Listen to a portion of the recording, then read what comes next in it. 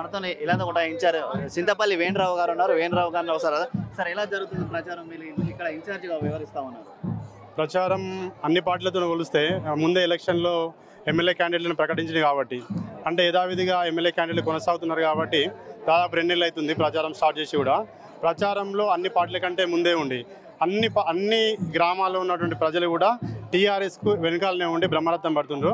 ప్రచారంలో అన్ని పార్టీల కంటే అన్ని చాలా రేట్లు ముందంజలో నడుస్తుంది.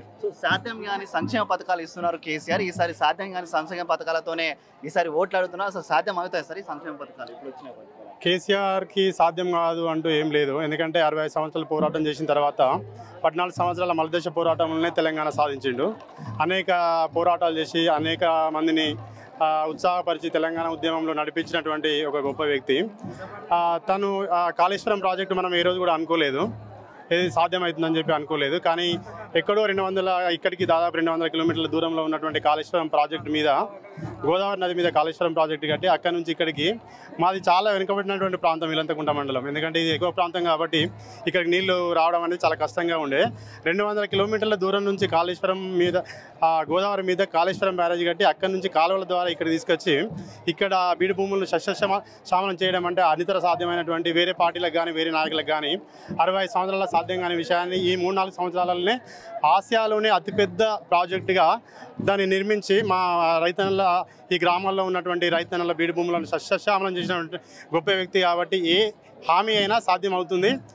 తప్పకుండా ఆ హామీలను కొద్దిగా లేట్ అయినా కూడా తప్పకుండా నెరవేర్చాలని చెప్పి మాకు రైతులకు కానీ లేకుంటే గ్రామాల గ్రామాల్లో ఉన్నటువంటి ప్రజలకు మాత్రం ఆశగా చూస్తున్నారు వాళ్ళు. సో మీరు రైతుల కోసం చెప్తున్నారు కాబట్టి ప్రతి కాంగ్రెస్ సభలో కూడా ధరని కంప్లీట్గా రద్దు చేస్తామనే ఆలోచన కూడా కాంగ్రెస్ పార్టీ దీన్ని ఎట్లా చెప్తారు మీరు రైతులకు ధరని కొన్ని కొన్ని కొత్తగా వచ్చినటువంటి ఒక టెక్నాలజీ కాబట్టి మొదటగా కొన్ని కొన్ని ఇబ్బందులు ఉండే. బట్ తర్వాత క్రమంలో దాన్ని మాడిఫై చేశారు.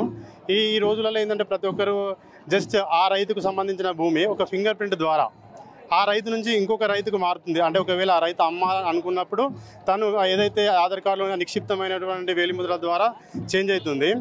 అంత సింపుల్గా చేంజ్ కావడం అనేది అది ఒక గొప్ప మార్పు. దాన్ని ప్రతి రైతు సాధ్యమైనంత వరకు స్వాగతించారు కానీ లోటుపాట్ల వల్ల కొందరు రైతులు అసంతృప్తితో ఉన్నమాట వాస్తవమే. కానీ ముందు ముందు ఏంటంటే టెక్నాలజీలో జరిగేటువంటి మార్పుల ద్వారా ఇంకా సులభతరం అవుతుంది. అది తీసేయడం అనేది చాలా పెద్ద పొరపాటు. ఎందుకంటే విఆర్ఓ వ్యవస్థ తర్వాత ఆర్ఐ వ్యవస్థ తర్వాత డెప్యూటీ ఎంఆర్ఓ తర్వాత ఎంఆర్ఓ ద్వారా ఇవన్నీ ఈ క్రమంలో ఈ పట్టాల మార్పు జరిగేది ఇంతకుముందు. కానీ అట్లాంటిది జరగకుండా ఆ రైతు ఫింగర్ ప్రింట్ పెడితే ఆ రైతు ద్వారానే ఇంకొకరు కొనుగోలు చేసిన వ్యక్తికి మారుతుంది కాబట్టి అది స్వాగతించాల్సిన విషయము. ఎదుటి పార్టీలకు అర్థం కాక రకరకాల దాని గురించి ప్రాబ్లమ్స్ ఉన్నాయి కానీ రైతులకు మాత్రం ఎలాంటి ఇబ్బంది ఉండదు. ఫైనల్గా మీరు మహిళలతో కలిసిన సందర్భం ఉంటుంది కదా. మహిళలు ఈసారి గ్యాస్ బండ్ ఏదైతే పదకొండు వందల ముప్పై రూపాయలతో ఇప్పుడు మీరు నాలుగు వందలుగా ప్రకటిస్తామని చెప్తున్నారు. అసలు సాధ్యమే పనినా? మహిళలు మీతో ఏమంటా ఉన్నారు తప్పకుండా సాధ్యమవుతుంది. ఎందుకంటే మీకు తెలంగాణలో ఇంతకుముందు అంత సంపద క్రియేట్ కాలేదు. సంపద సృష్టించబడలేదు. మరి రాను ఏంటంటే తెలంగాణలో ఉన్న హైదరాబాద్లో ఉన్నటువంటి చాలా పెద్ద పెద్ద ఐటీ కంపెనీస్ వచ్చినాయి.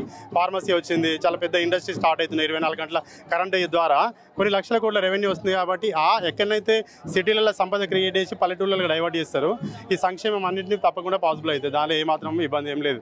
సో ప్రజలకు ఏం చెప్తారు? మానకొండ ప్రజలకు మీరు మానగుండూరు ప్రజలు అరవై ఐదు సంవత్సరాలు మనము అనేకమైనటువంటి చాలా కాలం కాంగ్రెస్ గవర్నమెంట్ పరిపాలించింది కాబట్టి దాదాపు స్వాతంత్రం వచ్చిన తర్వాత అరవై సంవత్సరాలు వాళ్ళే ఎక్కువ కాలం పరిపాలన ఉన్నారు కాబట్టి మనం ఏదైతే కొట్లాడి తీసుకొచ్చుకున్నటువంటి తెలంగాణ ఆ తెలంగాణలో అభివృద్ధి కార్యక్రమాలు చాలా పెద్ద ఎత్తున జరుగుతున్నాయి. ఆ కార్యక్రమాలను మనము ఆ కార్యక్రమాల్లో భాగస్వాములయ్యి ఈ సందర్భం ఓట్ల సందర్భం వచ్చింది కాబట్టి అభివృద్ధి జరుగుతూ చేస్తున్నటువంటి పార్టీకి మనం పట్టం కట్టాలని చెప్పి ఆ మానకొండూరు ప్రజలను నేను ఈ సందర్భంగా కోరుకుంటున్నాను.